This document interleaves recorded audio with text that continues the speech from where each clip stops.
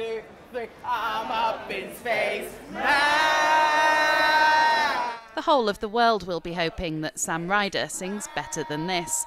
Search around the universe.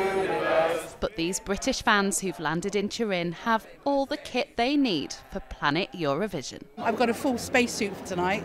It's a rather large uh, Union Jack shell suit and it's going to be very, very hot. For the first time, you can feel how much everybody else loves our song, and I've never felt that in the other nine contests that I've been to. And how do you rate our chances? We're going to win, of course we are. yeah, we wouldn't come all this way not to win. But some have realised that Ukraine are actually the favourites. So you've got half a Ukrainian flag, half a British flag yeah. on? Tonight I'm hedging my bet. Uh, I live in London and I'm hosting a family of Ukrainians at the moment. They've never watched Eurovision before, so this is going to be their first time. So either we're going to win or we're going to win.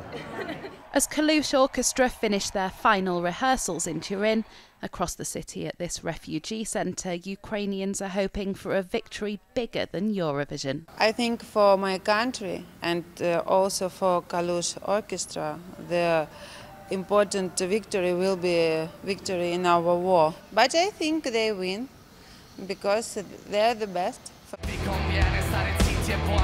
Last year's winners know how much Eurovision can change lives. Måneskin have gone on to achieve global success and will be performing their new single tonight. How great is it for you to have Eurovision in Italy this year? A lot. yeah, no, it's it's amazing. Does it feel different to you this year? Yeah, we got less uh, pressure now.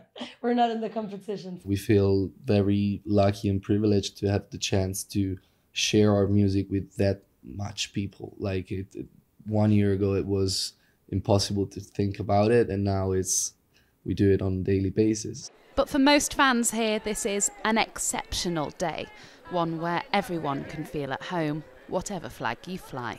Hannah Miller, ITV News, Turin.